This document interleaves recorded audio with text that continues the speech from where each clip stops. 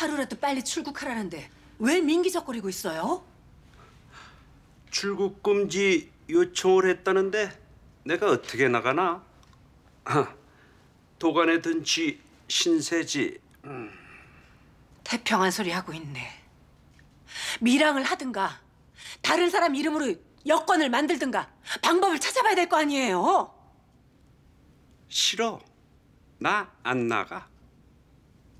안 나가다니? 돈이 적어서 그래? 나가기만 하면 돈은 더 챙겨줄게요. 강남 빌딩 팔면 목돈 들어온다니까. 똥줄이 탔구만.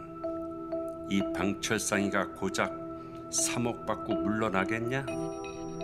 우리 남진이가 형광을 물려받으면 난 회장 양 아버지인데 어느 쪽이 나한테 이득인지 머리 굴리는 중이다 이 말이야. 신경 쓰이게 하지 말고 당장 떠나요. 떠나는 날 돈은 바로 붙여줄게요.